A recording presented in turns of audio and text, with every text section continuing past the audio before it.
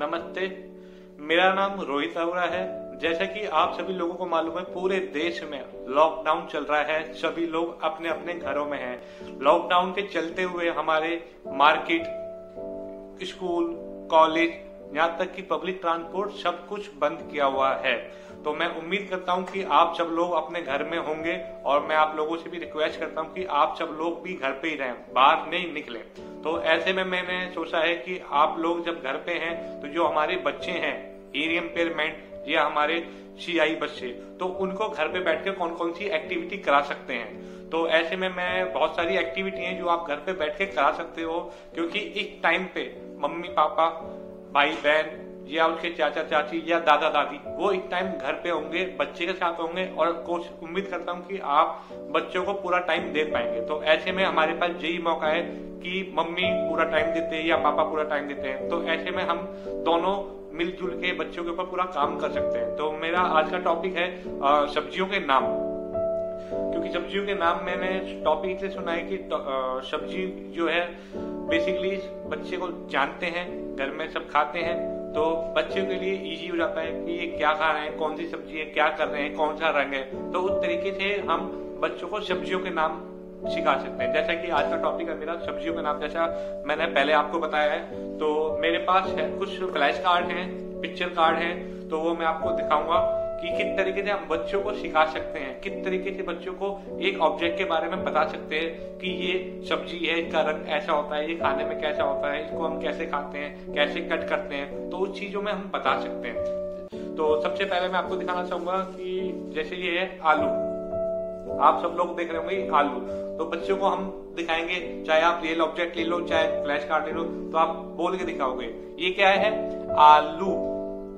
देख रहे हो आप मेरी लिप रीडिंग देख रहे होगे, मैं किस वर्ड को आराम से बोल रहा हूँ। आलू तो बच्चा उसको बोलने की कोशिश करेगा। आपके पास टाइम है, कोई जल्दबाजी नहीं। तो उसमें आप बच्चे को आराम से एक टॉपिक को या एक कंटेंट को जो आपका ऑब्जेक्ट है, उसको हम कम से कम आधा घंटा बच्चे को दे सकते हैं, ताकि बच्चे की स्पीच बच्चे की लैंग्वेज बच्चे का कम्युनिकेशन स्किल वो डेवलप होगा, बच्चे को पहचान होगी कि ये सब्जियों के नाम है, ये सब्ज़ी है, इसको हम क्या बोलते हैं, आलू। तो इस तरीके से हम बच्चों को ऑब्जेक्ट दिखा के और उसके साथ में बच्चों को बुलवा सकते हैं। ये क्या है? आलू। आलू। देख रहे हो आप? आप मेरे को देख रहे हो लिप रीडिंग मैं कर रहा हूँ। आलू। तो धीरे बोल रहा हूँ और साथ में बच्चे को फ्लैश कार्ड और साथ में बच्चे को फ्लैश कार्ड दिखा रहा हूँ। तो ऐसी तरीके से हम बच्चे को सिखा सकते हैं। ये क्या है? आलू।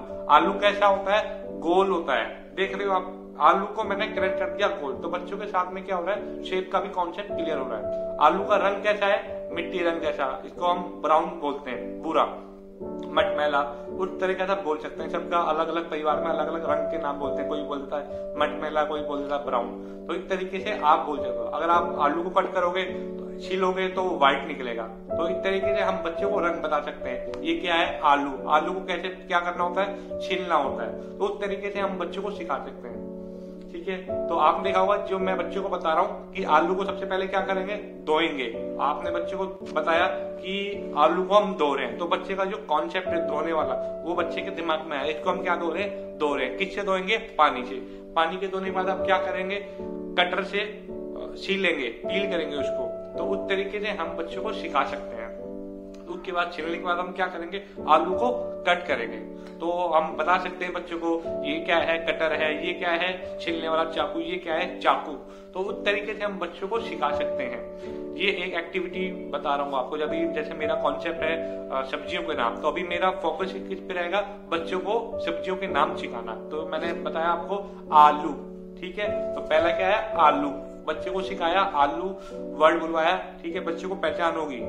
कि क्या है, आलू। आलू कैसा होगा गोल। तो उस तरीके से हम बच्चों को सिखा सकते हैं। ठीक है, ये हो गया। दूसरा हो गया हमारा टमाटर। जैसे कि आप देख रहे होंगे तो घरों में सबके, घरों में टमाटर होता ही है और बेसिकली आप बच्चों को दिखा सकते हो। बच्चे को टच करके दिखा सकते हो। बच्चे खाते भी होंगे तो आप उनको बता सकते हो टमाटर। टमाटर कैसा होता है? लाल रंग का होता है। तो आप देख रहे होंगे सब्जियों के नाम के साथ साथ बच्चों को कलर का कॉन्सेप्ट भी क्लियर हो रहा है। कि टमाटर कैसा होता है? गोल होता है। खाने में कैसा होता है? खट्टा फीका टाइप का होता है। ठीक है? तो उस तरीके से हम बच्चों को दिखा सकते हैं ये क्या है? टमाटर। टमाटर। आप देख रहे होंगे, ट ट में आपकी जीभ ऊपर लग रही होगी। तो उस तरीके से आप बच्चों को सिखा सकते हो। ट म के लिए देख रहे हो आप मेरे होठ हैं, वो बंद हो रहे हैं। टमाटर। रा, में बच्चे को थोड़ा सा दिक्कत हो सकती है क्योंकि रा जो वर्ड है वो काफ़ी रा, सूखे निकलता है। तो बच्चे को शायद उसमें दिक्कत हो। तो कोशिश करेंगे तो बच्चा कुछ सीख सकता है। पूरा नहीं सीखेगा 80 परसेंट, सेवेंटी परसेंट इतना सीखेगा जितना आप एफर्ट करोगे बच्चे को साथ, उतना बच्चा सीख जाएगा। तो ये क्या है? टमाटर। तो इस तरीके से हम सिखा सकते हैं। एक है टमाटर। टमाटर का रंग कैसा होता है? लाल। कैसा होता लाल। तो बच्चा सुन भी रहा है और समझ भी रहा है। तो बच्चा सीखेगा क्या है टमाटर। ठीक है? तीसरा है हमारा गाजर। ये क्या है? आप देख रहे होंगे गाजर। क्योंकि इस सीज़न में आ रही है गाजर और बच्चों को बता भी सकते हो कि गाजर। तो बच्चा बोलने की कोशिश करेगा उसको पहचानेगा। ये क्या है? गाजर। गाजर का रंग कैसा होता है? लाल होता है। गाजर खाने में कैसी होती है? मीठी होती है। गाजर की शेप कैसी होती है? लंबी होती है। लंबी, गोल या पतली, इस तरीके से आप बता सकते हो, क्योंकि गाजर का जो साइज़ होता है, छोटी भी आती है, बड़ी भी आती है, वो डिपेंड करता है कि आप कौन सी गाजर दिखा रहे हो। बट आप दिखा सकते हो कि क्या है गाजर। जैसे आप देख रहे होंगे कि जो मेरी गाजर है, ये लंबी है। इसका रंग कैसा है? संतरी है, फ़िलहाल तो पिक्चर में, वैसे जो हमारे आती है तो वो लाल रंग की होती है। ठीक है? उस तरीके से आप सिखा सकते हो बच्चों को कि ये क्या है? गाजर। आराम से बोलना है, कोई जल्दबाजी नहीं करनी है बच्चों को आराम से। गाजर। ग। अगर बच्चे को नहीं आ रहा है, जैसे अगर बच्चे ने बोला, आजर। समझ लो गाजर और आजर में फ़र्क है। ग में हमारी हल्की चीज़ जो टंग है, वो पीछे लगती है। तो उस तरीके से आप बच्चों को सिखा सकते हो। ये क्या है? गाजर। ज आप देख रहे होगे, टंग पे लग रहा है ऊपर, पैलेट पे। तो उस तरीके से आप सिखा सकते हो। ठीक है? ये क्या है? गाजर। बच्चा बोलने की कोशिश करेगा। ठीक है? उस तरीके से हमारे पास और भी है। ये आप देख रहे होंगे फूल गोभी ये क्या है? फूल गोभी नाम बड़ा हो गया। आप फूल गोभी तो बड़ा है तो को आप तोड़ के बना फूल गोभी या अभी बच्चा का लेवल इतना डेवलप नहीं हुआ है तो आप सिर्फ़ इसको बुलवा सकते हो। गोभी। गोभी। गोभी का रंग कैसा होता है? हरा और पीला। क्योंकि जब पक जाती है गोभी तो टाइम में वो पीला हो जाता है। नहीं तो अगर आपने देखा होगा, ब्रैश जब आती है तो ये जो फूल है, वो बिल्कुल व्हाइट होता है। थोड़ा सा व्हाइट तो उस तरीके से आप बच्चों को, जो आपके पास पिक्चर है, या आपके पास जो ऑब्जेक्ट है रियल ऑब्जेक्ट तो वो आप दिखा सकते हो कि बच्चे का ये एक कौन से रंग का है? हरा। ये कौन सा है? पीला। ठीक है? उस तरीके से आप बच्चे को सिखा सकते हो। ठीक है? लास्ट में लेता हूँ मैं प्याज। ये क्या है? प्याज। प्याज। कैसे काटते हैं प्याज को? ऐसे काटते हैं। ठीक है, प्याज को कैसे छिल का उतारते हैं? तो उस तरीके से हम बच्चे को बता सकते हैं। और उस तरीके से प्याज की साइज़ क्या है? गोल। प्याज का रंग कैसा है? पिंक उस तरीके से हम बच्चों को बता सकते हैं। इस तरीके से हम बच्चों को घर में बैठे बहुत सारी एक्टिविटी करा सकते हैं। बच्चों को जैसे अगर मेरे पास फ्लैश कार्ड है, ये रखे हुए थे तो मैंने आप सोचा कि आप लोगों को शेयर कर दूँ। अगर आपके पास है पिंक उस तरीके से हम बच्चों को बता सकते हैं। इस तरीके से हम बच्चों को घर में बैठे बहुत सारी एक्टिविटी करा सकते हैं। बच्चों को जैसे अगर मेरे पास फ्लैश कार्ड है, ये रखे हुए थे तो मैंने आप सोचा कि आप लोगों को शेयर कर दूँ। अगर आपके पास फ्लैश कार्ड भी है तो आप अपनी टेक्नोलॉजी का मोबाइल में बहुत सारी पिक्चर डाउनलोड करके बच्चों को दिखा सकते हो।